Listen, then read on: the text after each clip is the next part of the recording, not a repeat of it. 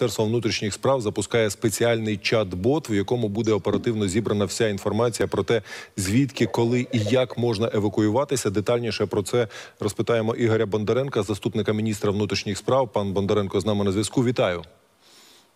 Доброго дня. Вітаю. Скажіть, будь ласка, що це за чат-бот, як він називається, і що він може?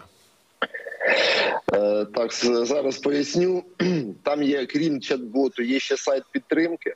Е, Він окремо так само є в, доступі. Там можна використовувати не тільки інструменти чат-боту, а й звичайні там телефонні лінії е, відповідно до регіону, відповідно до закладу державного, е, відповідно до того напрямку, в якому є необхідність людині звернутися за допомогою. Так само в чат-боті це більш зручно, це, це автоматизовано.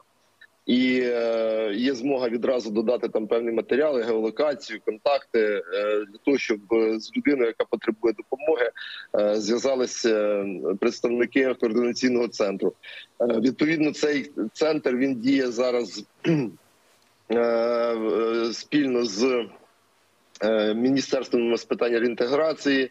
е, І з Українською асоціацією районних та обласних рад е, Пане е, Бондаренко, ну дивіться, для людей, які хочуть евакуюватися, неважливо, хто його розробляв, важливо, який його функціонал.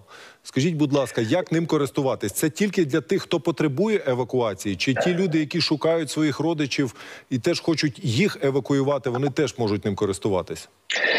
Е, Ні, це якраз е, цей ресурс створений для організації евакуації, саме евакуації населення, а також надання екстреної допомоги. Тобто, ну, в разі, коли людина ну, вже не, не, не може бути там е, питання такого ну, в спокійне в спокійному режимі евакуації, да, потребує там екстреної допомоги, гуманітарної допомоги. Тобто ці питання там також відпрацьовуються. Якраз я коли говорив про це, е, хто працює зараз з цим ботом, якраз е, за рахунок того, що там залучені представники територіальних громад, е, вся ця історія вона якраз опрацьовується.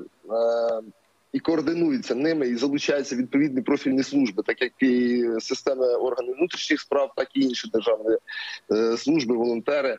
І, от, наприклад, така статистика коротка за вчора, коли був анонсований цей е, ресурс, е, до е, там з, з обіду і до вечора надійшло близько шес- 600 заявок від людей. Е, Добре. Тобто, це да.